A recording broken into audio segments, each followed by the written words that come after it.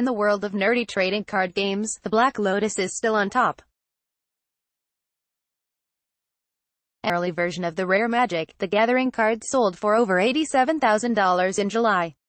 But less than a week later, that record received a challenge, though it wasn't beaten, from an unlikely source. A crypto trading card for a new Ethereum-based game, Gods Unchained, sold at auction for 146 Ether, worth more than $60,000 at the time. It's a notable figure given that Magic is a quarter-century-old institution, while Gods Unchained has yet to launch, it's expected to go live on Ethereum in the fourth quarter. Still, according to those behind the platform, such figures are due to the excitement for both the game itself, and for unique crypto assets broadly. James Ferguson, CEO of Fuel Games, the Sydney-based startup behind the game, said of his company's creation, It's a really compelling game, which people would play regardless of it having anything to do with crypto. Ferguson compared Gods Unchained to Magic and Hearthstone, a digital trading card game with similar gameplay and fantasy aesthetics to Magic. It's sort of complexity-wise, and strategy-wise, a step up from Hearthstone and probably a step down from Magic, the Gathering, he said. There is a key difference, though. Magic's cards are pieces of paper, meaning players have to be physically present and requiring them to lug heavy, valuable cards around. Hearthstone's cards are digital, but the game is centralized. In centralized games, Ferguson said, players have so little security over what they're given in-game. Essentially it's just a license to use a certain costume or a certain item on a server, and the game's company can alter stats as they wish and do whatever they think is best. In Gods Unchained, by contrast, the cards are non-fungible ERC-721 tokens housed on the Ethereum blockchain. That means they are fully owned and controlled by the holder of an account's cryptographic key, with no risk that they will be altered or taken away.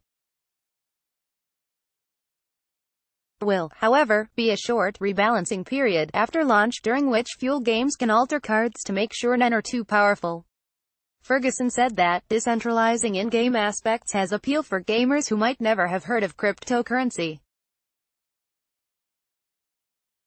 Gaming is taking up so much of people's lives and identity nowadays, he said. People are even using it as their jobs. Professionals can't risk their cards being weakened, nerfed. There's even speculation, Ferguson added, that the $60,000 Hyperion card was bought by a professional streamer. Break into the mainstream? Launch ahead, the main goal, now according to Ferguson, is to attract 100,000 or a million players to Gods Unchained, and, by extension to Ethereum and the crypto asset ecosystem. We want to offer them the chance to seamlessly get their first $5 or $10 worth of crypto through buying the cards, he said. He explained that Fuel Games could accomplish that goal by offering top-of-the-line graphics and, well-designed and fun and competitive and balanced gameplay, as well as the ability to fully control in-game assets. Addressing blockchain tech's potential to disrupt the gaming industry, he said, it's essentially like every single game studio, or every single publisher, is a central bank. If blockchain's ability to grant users full ownership over immutable assets is appealing, however, the quality of gameplay enabled by Ethereum certainly isn't. In fact, the slow processing times and high costs involved in playing a game based on Ethereum smart contracts are constant sources of frustration in the decentralized gaming community.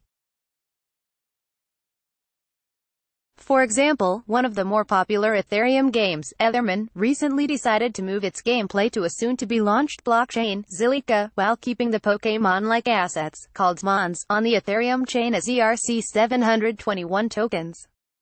In the case of Gods Unchained, the designers decided to take gameplay off-chain entirely. There's pretty much no way you could put anything this complex on-chain, said Ferguson. The team has experience with on-chain gaming. Fuel Games' first title, Etherbots, is played entirely on Ethereum, and the company is developing a scaling solution called Ansible Channels to help improve user experience in that game.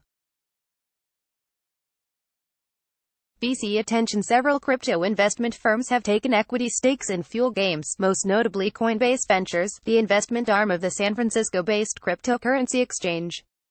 Continue Capital and Nirvana Capital led the $2.4 million round, which closed in May. In addition to Coinbase, the fundraise also saw participation from Sora Ventures. Explaining his fund's rationale for investing in Fuel Games, Continue Capital founding partner Xiaong Lin told Coindesk, Gods Unchained is one of the very first blockchain games that combines high-quality game experience with true ownership of game assets. He added that the game's use of non-fungible crypto tokens, NFTs, was particularly intriguing. Ethereum's ERC-721 standard was popularized by CryptoKitties, which attracted funding from big-name venture capital investors in March, including Andreessen Horowitz and Union Square Ventures. The app's user base has fallen by nearly 98% since its peak late last year, however, potentially calling into question the notion that NFTs were an idea whose time has come. Gods Unchained might be putting those doubts to bed. Fuel Games has sold over 4,600 Ether worth of cards for the game, worth around $1.3 million at the time of writing. But while the Hyperion card's $60,000 price tag is impressive in the context of trading card games, it's a far cry from CryptoKitties' record, one cat traded hands for $111,000 in December. Down the line, some investors believe that NFTs enable use cases far more valuable and consequential than gaming, real estate, precious metals and other assets could be tokenized, enabling investors to buy smaller, more liquid stakes in these assets. Then Coinbase Ventures, which has also invested in the non-fungible token marketplace OpenSea, published a blog post predicting that the use cases of NFTs would rapidly expand from cute digital cats to social media, digital identity, news and information platforms, and more. That's a lot of hype for ERC 721 to live up to, but Ferguson argued that investors find the gaming use case plenty compelling on its own.